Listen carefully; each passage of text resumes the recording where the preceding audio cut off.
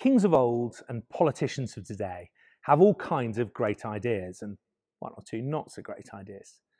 But you can always tell the ideas that they really care about because they choose to stay involved or to lead the project themselves. And for King David, uh, one of the things that was clearly close to his heart was worship and the worship movement, the original David's tent that we began to look at in our previous film because he put a lot of himself into it. We can see that in all the Psalms that he wrote and the commitment and love of worship on a personal level that that shows us. We can also see it structurally. We read in 1 Chronicles 25, verse 6, for instance, that although he appointed Jeduthun and Asaph and Heman as, as the leaders of this worship movement, they remained under the supervision of the king. What was it that made this so special to David? And what was it that then in turn meant that this was one of the greatest flourishings of music and worship that there's ever been, rippling down the centuries to today? And I want to suggest that it was the focus, David's focus in worship, that was at the heart of it all. And what was that focus? God. God and the presence of God. I sometimes think as I read the Psalms and the stories of his life that David was obsessed with the presence of God. You see it in that famous story that I referenced in the last film, when David brings the Ark of the Covenant to Jerusalem, in many ways the high point of his life and kingship, when the presence of God, the sign of his presence, is once more at the heart of the nation's life. And David dances and worships with all his might before the Lord.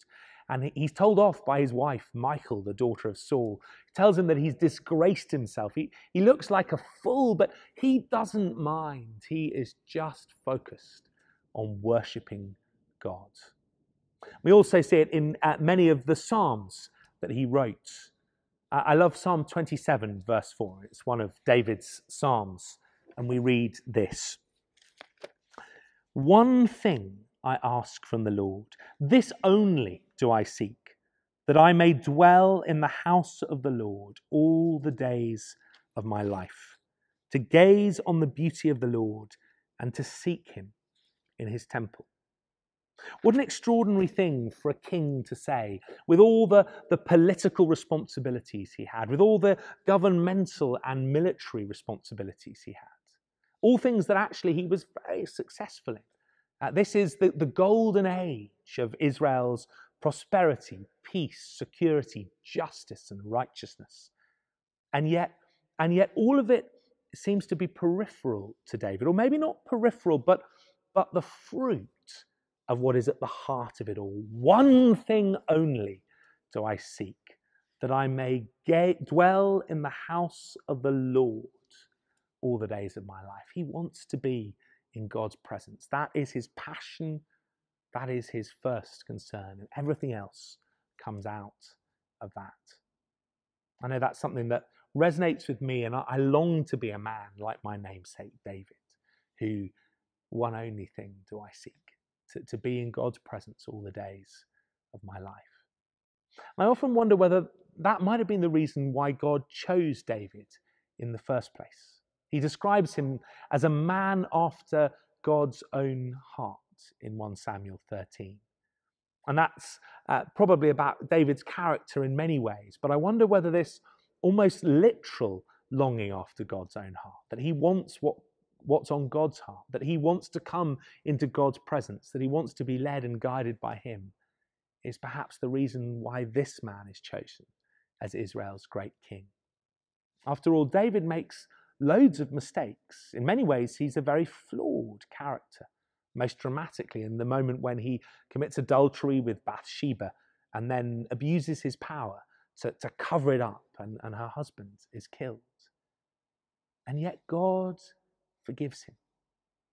I sometimes compare his life to Saul's. In many ways, his mistakes are, are no worse, even uh, his mistakes are, are no better, even worse than Saul's.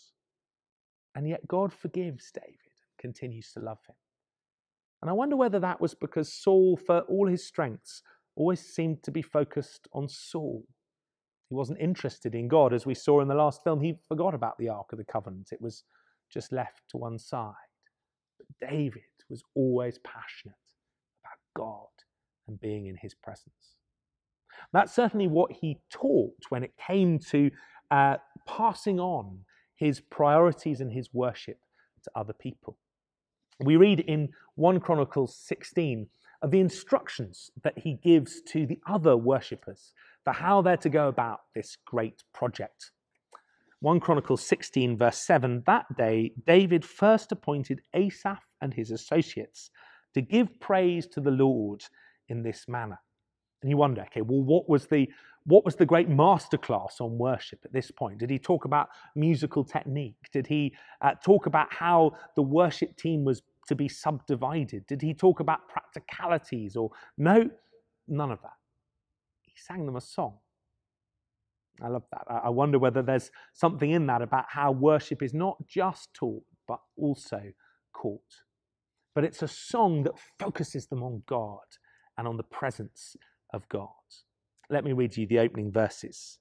Give praise to the Lord, proclaim his name, make known amongst the nations what he has done, sing to him, praise to him, tell of all his wonderful acts, glory in his holy name. Let the hearts of those who seek the Lord rejoice. Look to the Lord in his strength, seek his face also, always. And there's a total focus. He, he lifts their gaze to God and then he encourages them to, to exult and rejoice in God's presence as they seek him. So they're told to give praise to the Lord. It's focused on Him. They're told to proclaim and glory in His name and then rejoice as they seek God and to seek His face always. It's David's own heart, but now passed on to, to the rest of the worshipping community of Israel.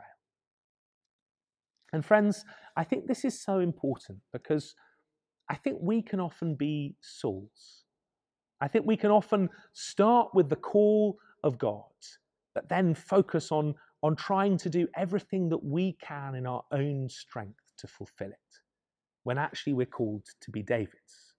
Now, the irony is that when we're called to be David's, so many other things follow.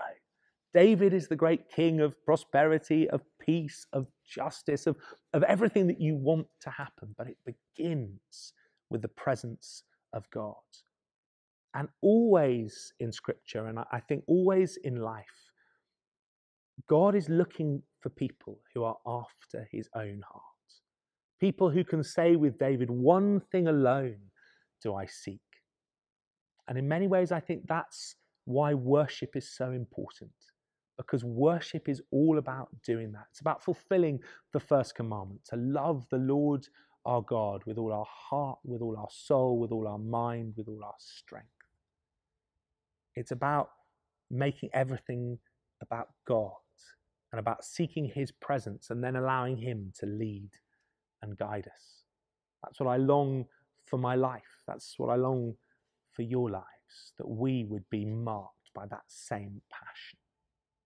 As I finish, I want to uh, read a quote from Pete Greig, the founder of the 24 7 prayer movement, one of the great church leaders of our time today. And uh, he talks about this same passion being at the heart of, of everyone who God uses. The pursuit of the presence of God has been, without exception or exaggeration, the prevailing passion and the common purpose of all the saints in every generation since the time of Christ. So, why don't we seek the presence of God now? Just spend some time in the silence or maybe listening to some music, just glorying in His name, seeking His face and rejoicing in His presence. Come, Holy Spirit, we pray. Fill each of us as we watch this now. Come, Holy Spirit. May we know your presence and would you light that fire of passion for you in our hearts? Come, Holy Spirit.